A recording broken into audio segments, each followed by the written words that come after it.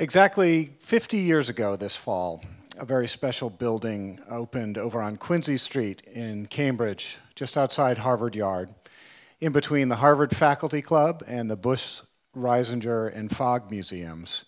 Two very traditional buildings, but anyone who's walked by can see that this was uh, something very different.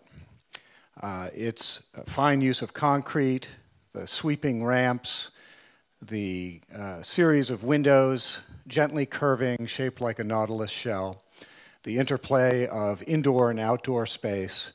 This was uh, modern architecture. And the man who created it uh, was this man, uh, Le Corbusier. Uh, he was arguably the father of modern architecture. He was a, a swaggering, dapper kind of guy, as you can see. And I've begun a, kind of a personal journey uh, researching him and his life and uh, uh, attempting to write a, uh, uh, a narrative biography uh, of him and how he traveled the world on some of the earliest jet planes, in dirigibles, and on ocean liners. I like to think of him as the Steve Jobs of his day, trying to change the world through design he was uh, an innovator, and I think there are some lessons to be had from the way that he broke free from the past and uh, took some new perspectives on architecture and how we live in cities. Now, he was born uh, Charles Edouard Jeanneret, and he changed his name to the moniker Le Corbusier. It was a Paris in the 20s avant garde kind of thing. Um, it may seem a little pretentious, but it, not that uh, different from some other rock stars who have rebranded themselves. Think Prince or Sting. Uh, he uh, grew up in Switzerland and then became a French citizen.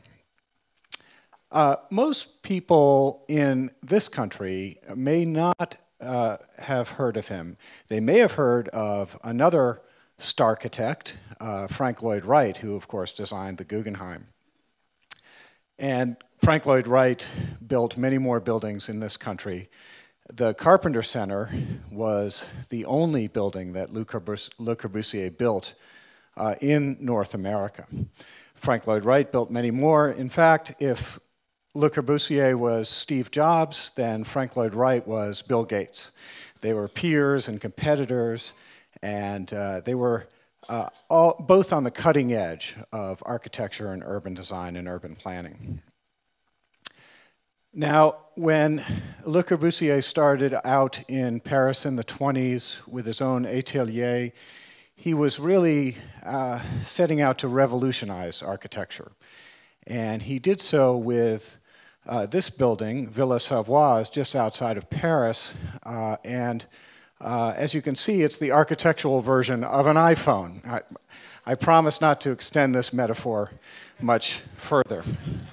Uh, but uh, the clean lines, the indoor and outdoor space, the light in the air, uh, he was looking at homes as what he called a machine for living in. And uh, this was uh, his new approach to marry the technolo technological advances and industrial advances of the day when he was asked to build an, uh, a, chapel uh, not far from his home, hometown in Switzerland in eastern France, he came up with this, Ronchamp. Not so much a cathedral, but an experience. Another masterpiece, La Tourette, the convent just outside Lyon. And uh, the Ministry of Education in Rio de Janeiro. Here you can see some similarities to the United Nations building in New York, and indeed Le Corbusier is really responsible for the design of the UN building in New York, but he was kicked off the design team because he was a bit of a pain in the neck and, and, and uh, a bit of a drama queen. Uh, but here you can see the glimmers of the United Nations building. And then also Chandigarh, uh, an entire city that Le Corbusier built from scratch uh, in the Punjab state in India. He was uh, a furniture designer, a painter, a friend of Picasso. Um, he even designed a car that arguably is a precursor to the Volkswagen Beetle, maybe even to the Prius or the Mini. Um, and he was an interior designer Uh, many of the things that he created, one can see in the IKEA catalog today. Uh, perhaps uh, something that he is uh, better known for, uh, and not in a good way, are his ideas about urban planning. But I want to unpack this a little bit. Uh, this is his proposal for the city for 3 million people in Paris. it required bulldozing a large swath of Paris north of the Seine. Now, I know what you're thinking. This is not really that great an idea. Now, it didn't happen here, uh, most would say, thankfully, but it did happen uh, here in this country with the model for towers in the park. This is Washington Square Southeast, just south of Washington Square in New York City. Uh, but you see it in Charles River Park, uh, right here in Boston, and uh, dozens and dozens, dozens of public housing uh, projects across the country. This uh, interpretation of Le Corbusier's ideas were executed in such a way that uh, it left us with some ill-advised public spaces, such as City Hall Plaza and the Government Center redevelopment, um, and the uh, era of urban renewal, highways through cities, um, slum clearance, uh, and all of the uh, negative associations that we have uh, today for that time. Well, so there was a backlash against these ideas, and it was led by this woman, Jane Jacobs. She was a housewife from Scranton. She was very proud to be called that. Uh, she was very proud not to have any credentials and was a self trained urban expert who wrote a book called The Death and Life of Great American Cities. She moved to New York City in the 1930s and had trouble finding a job, so she didn't have anything to do one day, put a nickel in the subway, and got out at a station called Christopher Street. Fell in love with Greenwich Village, made it her neighborhood, and really the model neighborhood, in her view, for the best urban environment. Mixed use, uh, access to transit, uh, buildings of only four to five stories high, uh, front porches, eyes on the street, lots of activity, the sidewalk ballet, as she put it. Uh, in a place like Greenwich Village. But then uh, let's bring it back up to today. What Le Corbusier was trying to anticipate was uh, an enormous growth in the urban population. And this is indeed what we're facing today. Uh, the planet has over 7 billion people right now. Now, over half of that 7 billion currently lives in cities. Uh, this is primarily in the developing world. People are flocking to cities, uh, predominantly poor people, very poor people from rural areas in search of a better life. And uh, this growth is occurring uh, overwhelmingly in uh, sub-Saharan Africa and Asia. And here's the frightening part. Uh, they're finding substandard housing, an estimated 1 billion people live in slums or favelas or shanty towns uh, without uh, decent housing or access to uh, sanitation or uh, clean water. And so if you take a look at uh, the, uh, the cities, the most populous, 20 most populous cities today, you see some pretty big numbers. and um, th there are uh, uh, 32 million people in Tokyo, uh, places like uh, Manila and Beijing and Karachi not that far behind. Uh, but that's just today. If you look to 2025, which is the year that the best projections are available, we see a lot bigger numbers. Tokyo up towards 40 million, others in the, in the 30 million range. And you'll notice there are some cities here who were, that, that we're a little less familiar with. Uh, these are those cities in the developing world that are going to be taking in these many millions of people. And these are places that don't really have a very strong rule of law.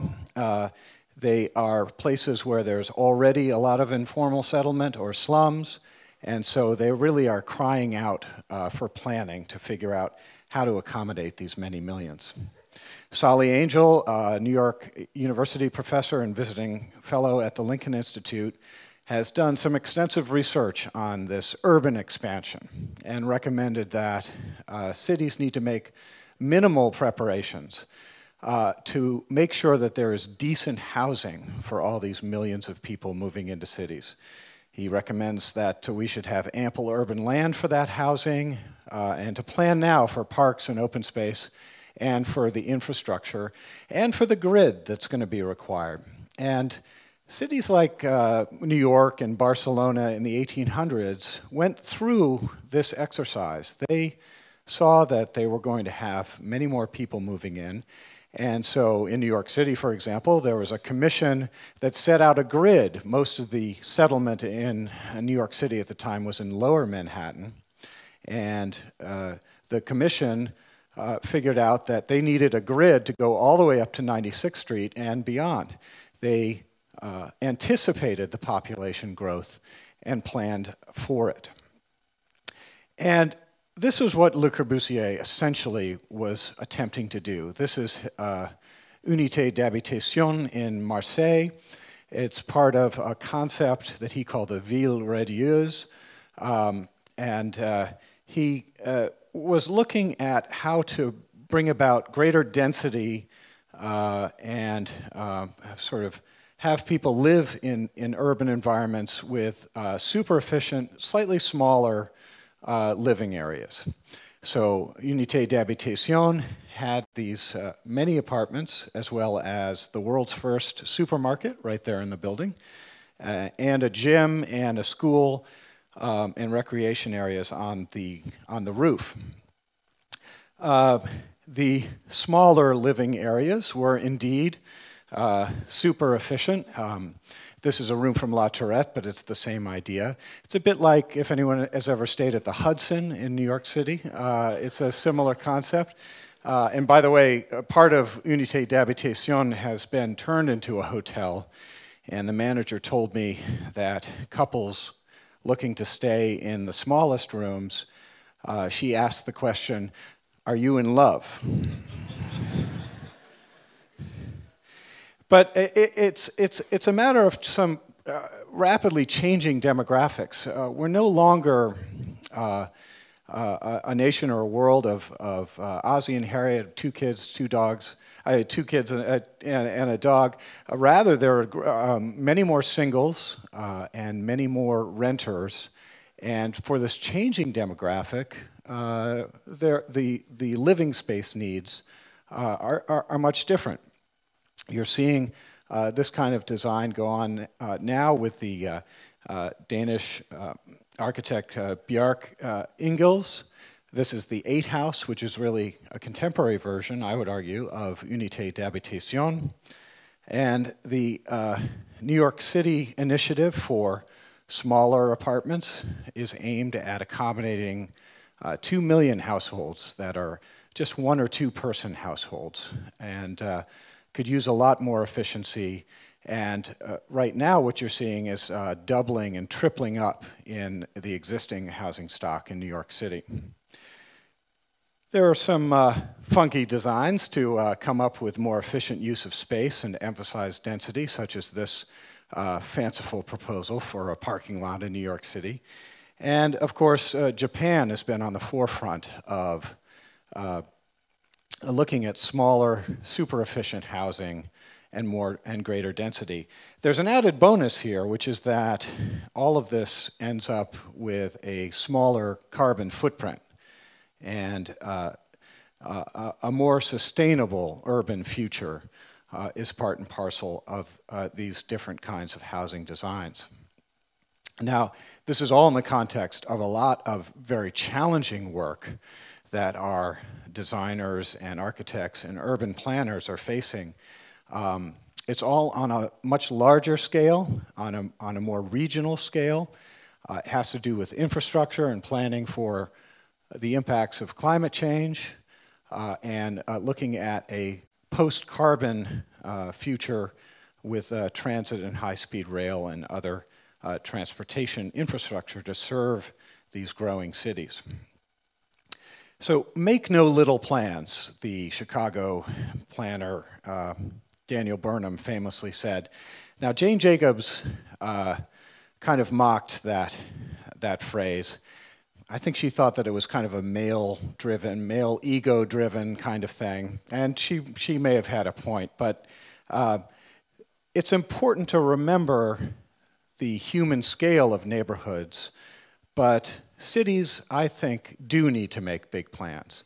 And uh, they need to plan now for this more efficient housing, for, for greater density, uh, and can learn a lot, I think, from Le Corbusier and the way that uh, he innovated and looked at things with a new perspective uh, and, and uh, was, was creative. He designed buildings on the back of envelopes and on cocktail napkins, um, and he wasn't afraid uh, to take a radical break from the past. So it's become fashionable uh, over the last 50 years or so to, to ask WWJS alongside what would Jesus say, what would Jane say? Uh, and uh, th this relates to, the, to, to her ideas about the, the human scaled neighborhood. But I think we should be careful not to be wedded to a new ideology if modernism became a kind of dogma all its own. Um, I think our times require this kind of innovation and creativity and imagination. Here's Le, Le Corbusier on his beloved beach in uh, the south of France, having some fun looking at uh, different perspective, different per perspectives on his hands. Uh, and our times and this exploding urban population, I think, uh, requires that kind of imagination. Whether it's the apartment building in Marseille or the fine use of concrete at the Carpenter Center uh, that uh, looks like it's uh, taut like a full sail. So I'd like to leave you, leave you today with the idea that instead we might ask, what would Le Corbusier say? Thank you very much.